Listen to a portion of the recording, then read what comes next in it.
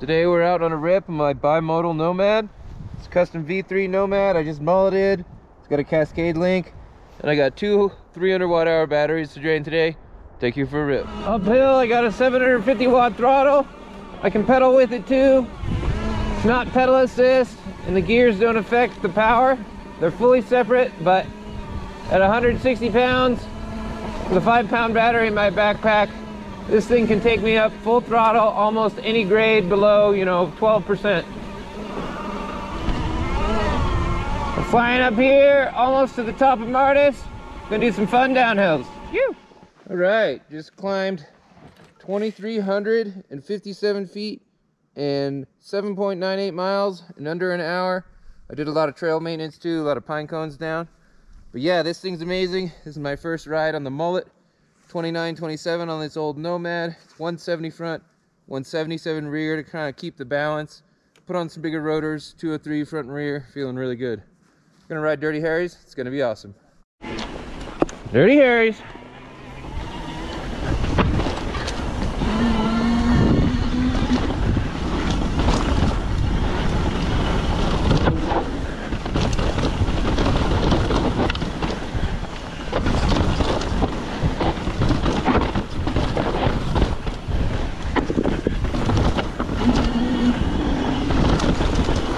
Oh, bad